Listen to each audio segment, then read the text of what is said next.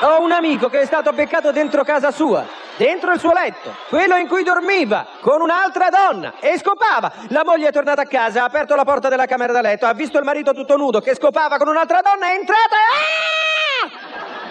Lui è saltato in piedi, ha visto la moglie correre via dalla stanza urlando, l'ha inseguita lungo il corridoio tutto nudo con il cazzo duro come una roccia dicendo scusami amore.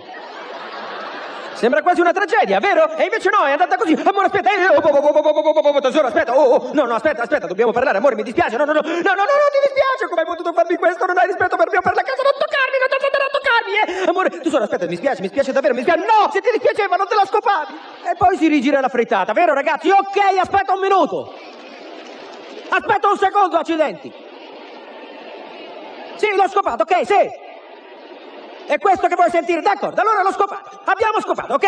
Sei contenta ora? Abbiamo scopato. Parliamo un po' del verbo scopare, va bene? È un termine molto importante, scopare. L'ho scopata, l'ho scopata quella là. Scopata. Me la sono scopata.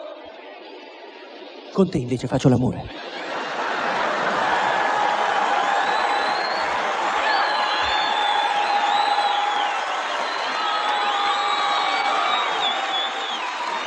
E se lasci che una scopata rovini il nostro amore, allora qui c'è qualcosa che non va, bella mia.